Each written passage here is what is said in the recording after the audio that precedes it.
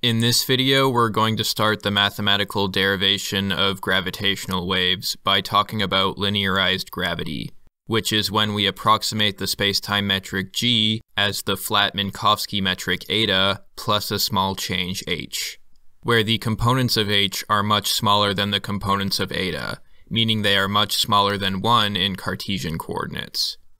Over the next few videos, we'll see that gravitational waves are disturbances in this h term.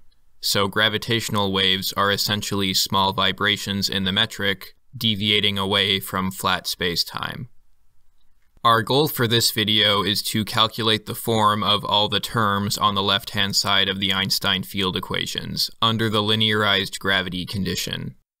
This will involve calculating the inverse metric, the connection coefficients, the Riemann tensor, the Ricci tensor, and the Ricci scalar. So before we start, I want to go over exactly what we mean by linearized gravity, also called weak gravity. I touched on this a little in my 108A video, but I was a bit sloppy and I'd like to correct myself. For linearized gravity, we write the metric g as the flat Minkowski metric eta in Cartesian coordinates, which is this matrix here, plus a small change h. When I say h is small, I mean that any term involving h squared is so extremely small that it can be neglected and set to zero. Now, there's another assumption of linearized gravity that is often left out of textbooks and this is the assumption that the derivatives of h are also very small. This means that terms involving the derivative of h squared, or terms involving the product of h and the derivative of h, are extremely small and can be set to zero. I've almost never seen this property about the derivatives of h being small stated explicitly in most general relativity notes but all the derivations I've seen in weak gravity seem to assume this property is true implicitly.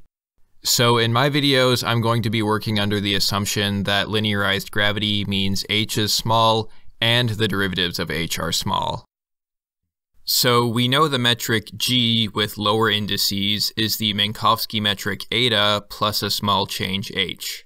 The inverse metric with upper indices is basically the metric inverse of the metric matrix, which gives the 4x4 identity matrix, or Kronecker delta, when we multiply the metric and inverse metric together in a summation. We can assume the inverse metric g is the inverse Minkowski metric with upper indices plus a different small change k with upper indices. If we plug these into this equation and distribute, we can replace the summation of the metric and the inverse metric with a Kronecker delta, and also replace this summation of the eta and inverse eta with a Kronecker delta. Then cancel the Kronecker deltas. Since we know that the components of both h and k are small, the product of h and k should be extremely small, so we can ignore it. This leaves us with h eta inverse equaling negative eta k, if we sum both sides with eta inverse, on the left side, eta and eta inverse sum to a Kronecker delta, which changes this sigma index into a rho index. So we've solved for the k components in terms of h components. k equals negative h, with two summations with the inverse Minkowski metric. Since the metric is used to raise and lower indices, we can treat these two Minkowski metrics as raising the mu and sigma indices on this h, giving us negative h with raised indices.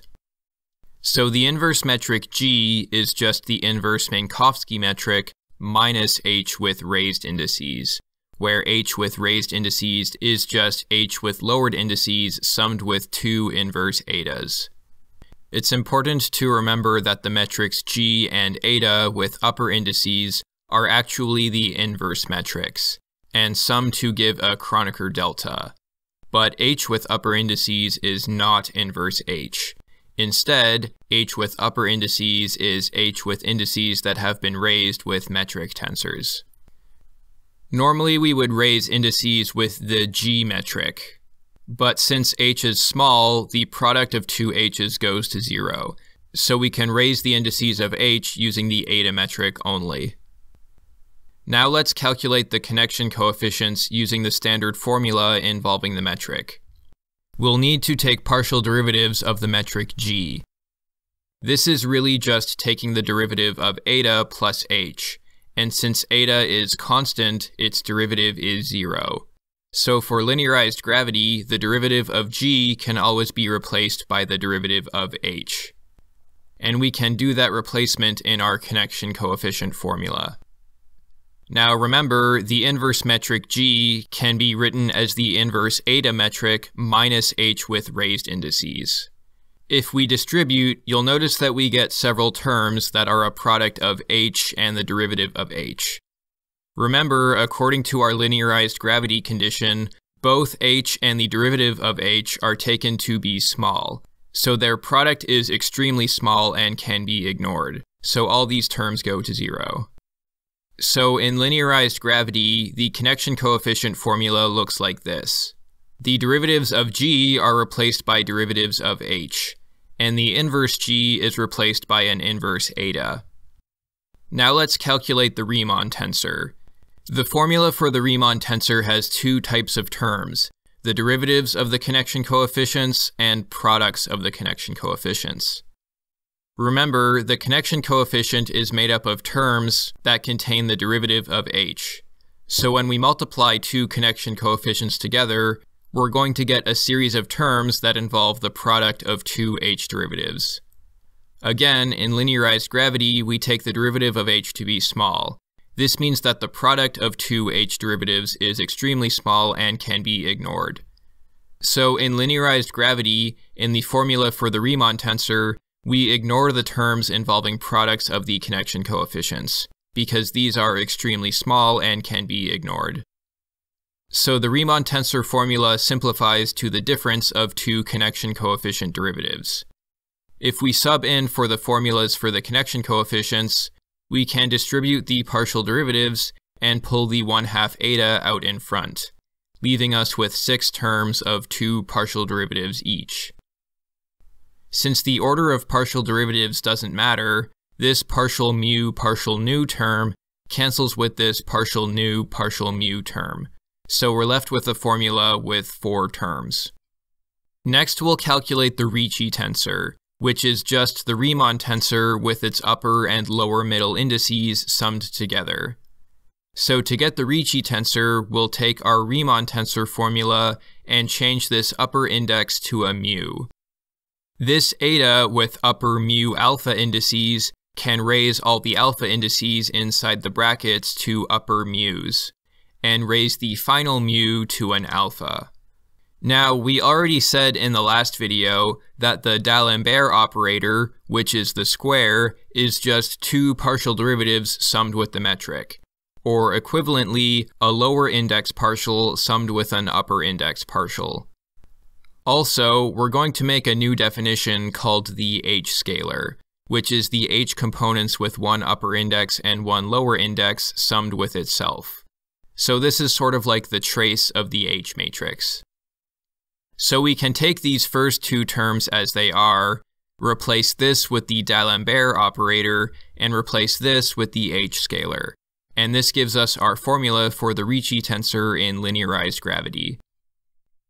Finally, we'll look at the Ricci scalar, which is just the Ricci tensor with one raised index summed with itself, with the index being raised by eta. If we sub in our Ricci tensor formula, we can use the eta outside to raise all the nu indices to become sigmas. This H tensor summed over itself can be rewritten as the scalar H and two partial derivatives with raised and lowered indices can be rewritten as the square D'Alembert operator. And since we can always relabel summation indices wherever we like, as long as we relabel them consistently, we can relabel this alpha index with a sigma. So we're left with 1 half of 2 of the same term minus 2 of the same term. So we can just take one of each term and drop the 1 half. So the Ricci scalar in linearized gravity is the second partial derivative of h with raised indices minus the D'Alembertian of the h scalar. Now that we know the Ricci tensor, the metric tensor, and the Ricci scalar formulas for linearized gravity, we can get the formula for the Einstein tensor capital G. We just plug all our formulas in. Again, since the G metric is really eta plus h, and the product of h with either h or a derivative of h is considered extremely small, we can ignore the h part of the metric here and just write the metric as eta. Distributing the eta for the last two terms and factoring 1 half from all six terms, we get this. Now here we have some h's with lowered indices, some with upper indices, and some with mixed indices. It's more convenient to have all of our h's with lowered indices. Since a raised index is really just a shorthand notation for a lowered index summed with an inverse metric, we can feel free to take a raised index, pop out the inverse metric, and then use it to raise the index of another term instead. So basically, it's acceptable to lower one index in a summation if we raise its partner index to compensate. So we can exchange these alphas, these alphas, and both alpha and beta here, and now all our h indices are lowered. Now, it's possible to tidy up this expression by making a definition for the components h bar, which are the h components minus 1 half eta times the h scalar. Or alternatively, the h components equal the h bar components plus 1 half eta times the h scalar. So this is a bit messy, but we can sub in this new formula for the h components into our formula for the Einstein tensor and we get 1 half times this set of six terms. We're going to show that these four terms with the h bars stick around, but all the other terms cancel out with each other. If we look at the alpha mu derivatives acting on this term, this eta metric can lower the alpha derivative to a nu derivative. And looking at the alpha nu derivatives acting on this term, we can lower this alpha derivative to a mu derivative. These negative derivatives acting on this term we can leave as is. And for this term, we can use the alpha beta metric to lower this beta index to an alpha. So these two mu nu derivatives with the 1 half cancel with this negative mu nu derivative, and these two negative 1 half alpha alpha derivative terms cancel with this positive alpha alpha derivative term. So only the four h bar terms remain. So applying this definition of h bar to the six terms in the Einstein tensor, we can simplify the Einstein tensor to four terms with h bar. So for linearized gravity, the metric g is the Minkowski metric eta plus a small change h, where the derivatives of h are small. The inverse metric g is the inverse eta minus h with raised indices. We also have formulas for the connection coefficients, the Riemann tensor, the Ricci tensor, the Ricci scalar, and using this definition for the h-bar components, we have this formula for the Einstein tensor. We can now write the Einstein field equations for linearized gravity.